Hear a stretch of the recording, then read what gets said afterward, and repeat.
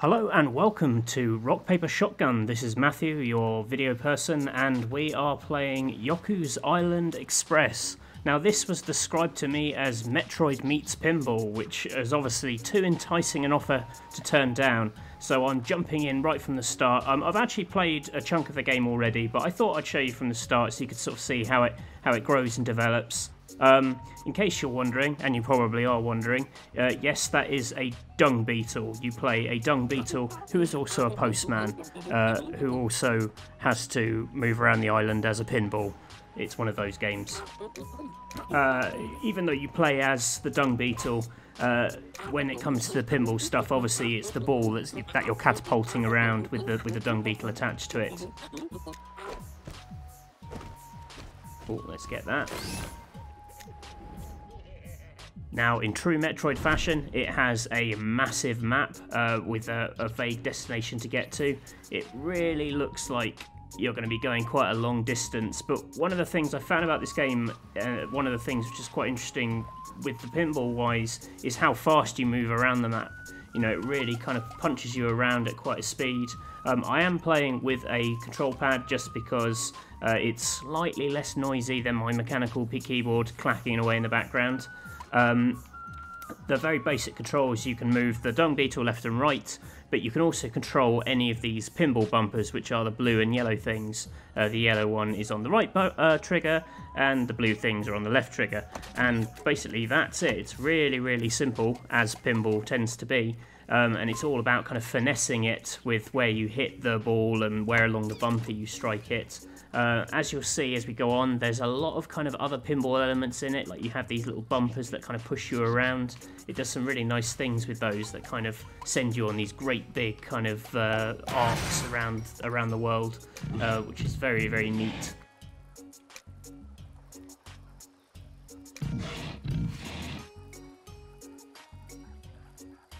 I'm a big fan of Virtual Pinball, have been since the days of Space Cadet uh, back on the, well, the free Windows game.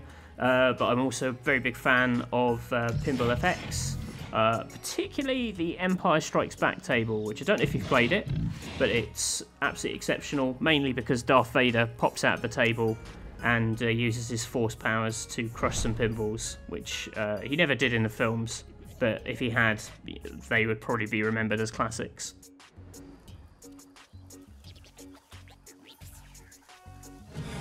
So one of the key things in this game is that you collect fruit. Fruit is your currency, which is used to kind of unlock new bumpers around the level um, that you'll sort of see here. In true pinball fashion, lighting up different elements of the scenery causes more fruit to pop out. Uh, there really is a lot of pinball logic in this, more than I thought there was going to be. I thought it was just going to be hit the bumpers to jump, but there's actually a lot more going on. A lot of the puzzles, uh, I call them puzzles, uh, are these sort of self-contained areas where it kind of locks you in, and it's more obviously a kind of traditional pinball table, and it's about getting it in the right place, um, using the trajectory. I'm actually going to come back in here just to light up some of these things and show you what happens.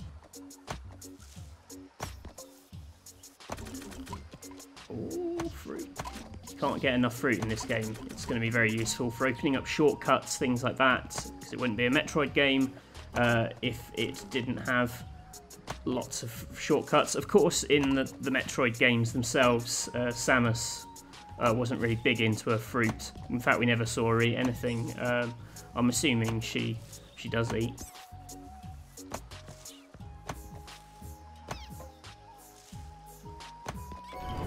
Oh yeah, I love it when you hit things over and over again and loads of fruit squirts out of them. That's incredibly satisfying. And if you also enjoy this, you will definitely enjoy Yoku's Island Express, which does that trick a lot, but it never gets boring. One of the big challenges uh, with playing pinball, real or virtual, is replicating your moves over and over again. You know, that's the kind of art of it, and that's really where the puzzle element of this game comes in, because it tends to give you lots of uh, items in awkward places that you have to hit with a very specific bumper hit, and so you have to, to keep doing that again and again and again, and it's all about kind of finding the sweet spots. Uh, you've also got these crystals which shatter in a very satisfying way. it's just a very tactile game on the whole. Like it, you know, the, the, the physics of the ball are nice. You know, it feels um, slightly more. Um, you know, it's cartoony when it wants to be, but it also feels quite precise. Uh, there's a bit of gear gating stuff uh, where you find new powers and they let you get further into the map. So this is the first thing you get, which is a noisemaker, like a little party horn, which kind of acts as a very basic melee attack for smashing up bits of the scenery, getting more of uh, getting more of that sweet, sweet fruit, and also annoying local foxes. So, in case you've forgotten, we're trying to find a mushroom to feed to the dragon so we can get into the village. There's lots of little interactive bits in the scenery. It's very attractively drawn. Actually reminds me a little bit of uh, Ori and the Blind Forest um, in a few ways. There, it's got a similar obsession um, that game has with collecting keys to unlock doors. Um, but also just the art style. It's very nice and layered, lots going on. Not quite as pretty as Ori, I don't think, but it's um, very neat nonetheless. Oh, like when you smash these crystals, psh, just feels nice. See, I really like moments like this where you just get sort of shot around lots of bits of scenery. I know it, you're not really interacting with it, it's all automated, but it has got that kind of ping, ping, ping, ping satisfaction of a, of a pinball table. So here, you know, things are getting slightly more interesting and there's multiple bumpers on the screen, so you have to hit... Ooh, yeah. It's all very gentle at the start. Later on, you get like the spike patches beneath the bumpers, and there's some kind of little collectible trinkets that require you to string together quite complicated uh, bumper moves.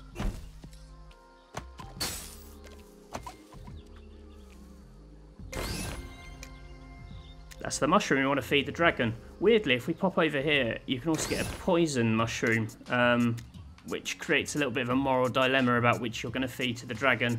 So uh, you know, as a, I mean, it's it's not a huge moral quandary. I mean, the, the dragon's going either way, but it's a, a, nice little touch.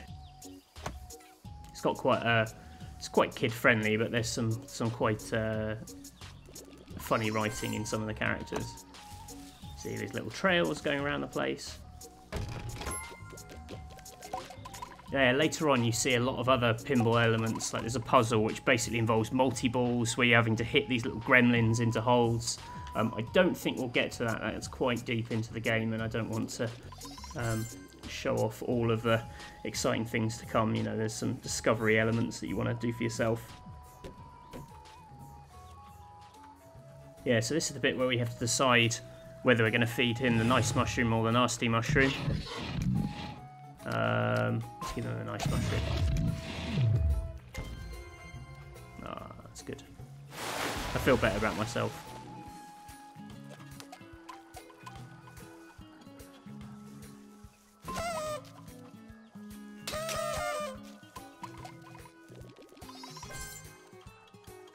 You'll find later on there are some bumpers that have a kind of huge currency cost to, to unlock. You may not even have the right size wallet. You can get wallet upgrades um, which are kind of hidden in off the beaten track.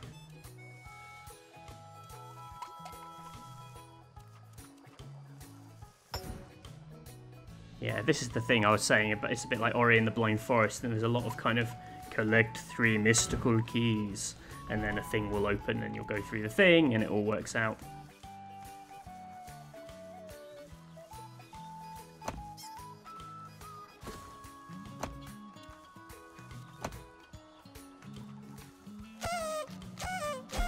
Yeah, you're also collecting these little things. I actually haven't discovered what they're for yet. You find some totems that require you to have 10 or 15 of them to unlock.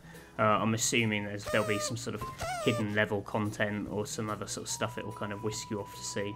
Um, for the time being, though. Oh yeah, that was one of the wallet upgrades.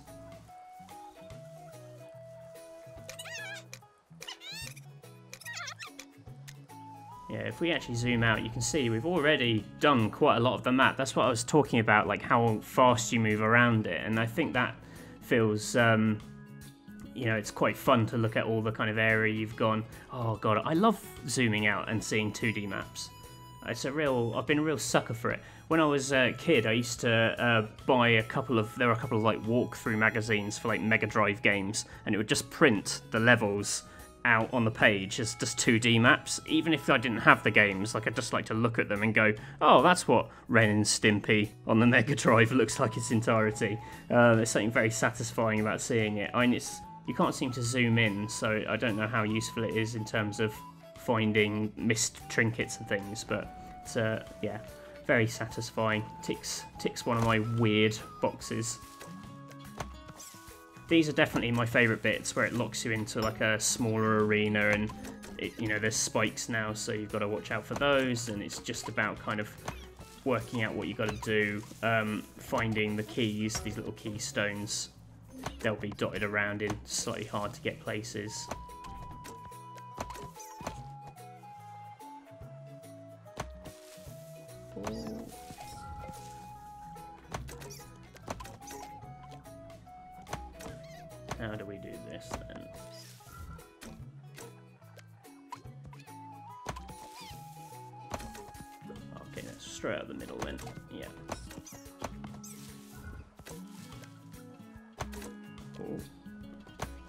Silence. Just trying to concentrate. Getting in the zone. Oh dear. Yeah, I'm not entirely sure how the health works. When you die, you go to this really... Well, I think you die. I, I fell onto some spikes and it went to a really weird cutscene where these two kind of dark gremlins uh, made some kind of death counter go up, but I'm not entirely sure what it signified. So I've opened the door and now I can move on. We're trying to clean out a base of... Uh, it's got these little kind of uh, dusty sprites. Oh, this bit's lovely. I'll let you watch this bit in silence.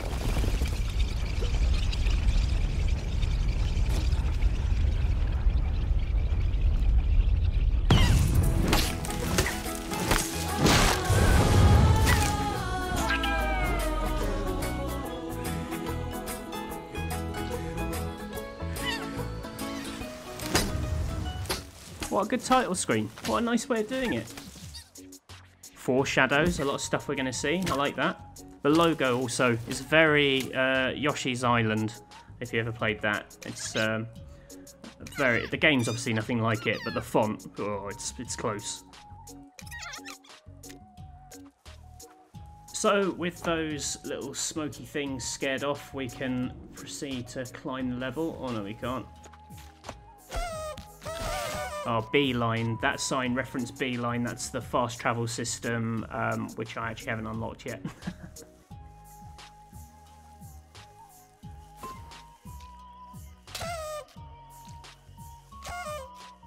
this chap, he acts as the, um, like a sort of safety guard in pinball when it pops up between the bumpers. And when you unlock him, he'll kind of protect you from spikes. He'll hover between the gap, give you a little, um, a little break when you need it. Thank you. Nice of him to take one for the team. Cheers.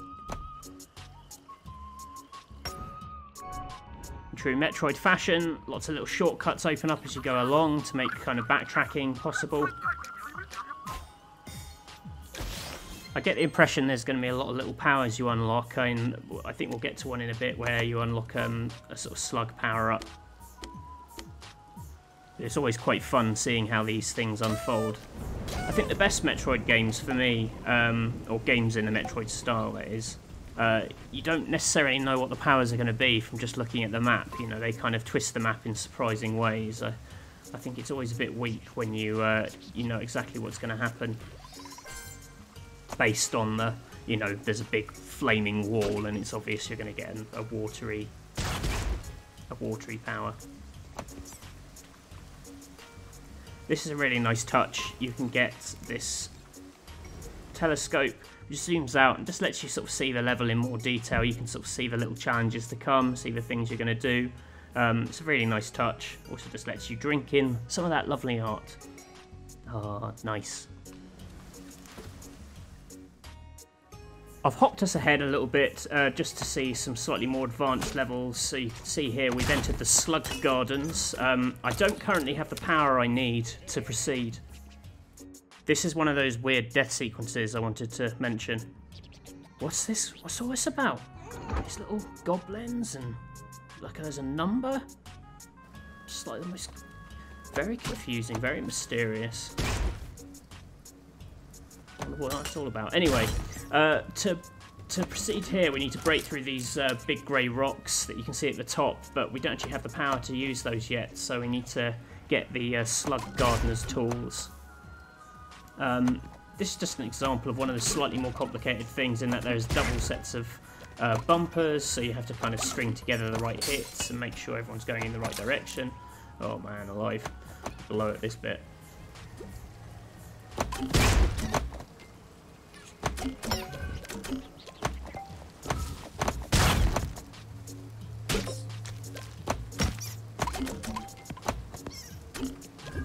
Quite intrigued to see how uh, speedrunners deal with this game because, you know, I don't know how many tricks there are to actually kind of get past it. You know, it seems quite quite carefully gated. Um, but I would like to see people string just, you know, all their hits into one beautiful combo and, and just nail it from start to finish. Could be quite fun to watch. Uh, I'm not going to be that person. I'll be watching those videos on YouTube, but that's okay. I'm not. I'm not so proud.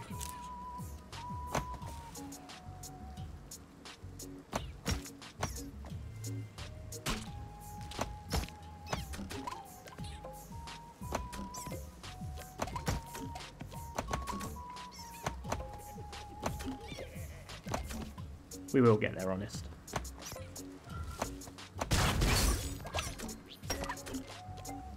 Alright, I can tell that I'm messing up lots because it's giving me the old, uh, the old spike protection guy. Very condescending of it. Yeah, this is an example of where you can string together lots of little bumper hits. So you have these little spinning signs as well that you have to uh, repeatedly hit uh, to get them to spit out the next set of keys. Like I said, there's a surprising amount of um, pinball furniture that you'll recognise. It's nicely done.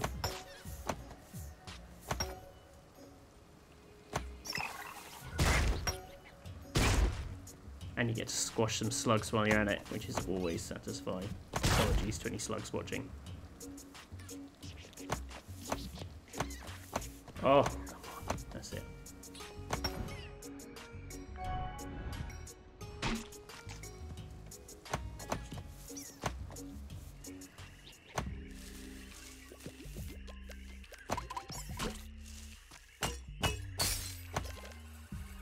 Oh, so nice.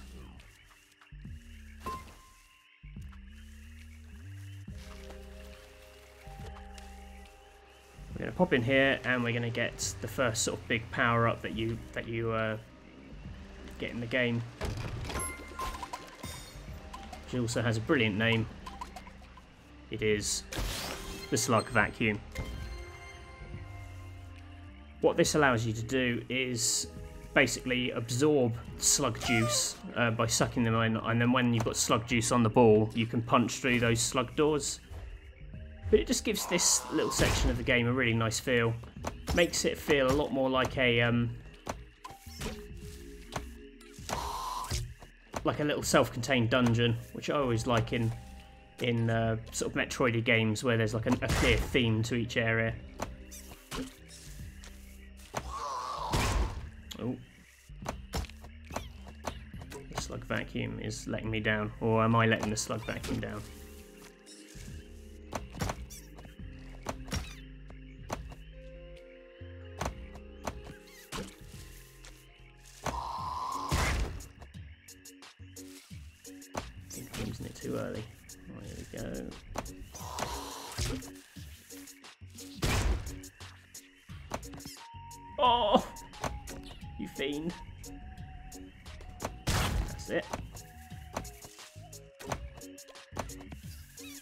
So in moments like that, that's where you, you know, because the slug juice wears off quite quickly, so you just have to be able to nail those precision shots a lot faster.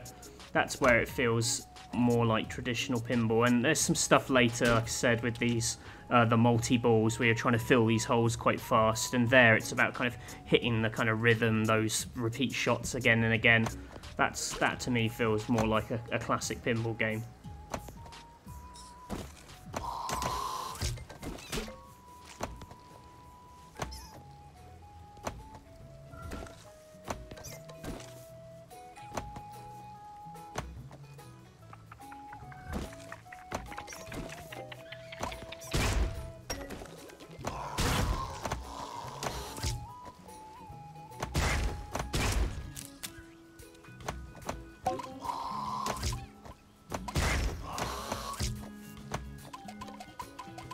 And that is Yoku's Island Express. You know, when it was pitched to me as this Metroid meets pinball, I thought, uh, you know, that's probably going to be a bit gimmicky. I don't think it's necessarily going to deliver on, on, the, on, the, on the pinball side of things. But actually, with my time with it, the thing which has impressed me the most is just how, how much of pinball there is in its DNA.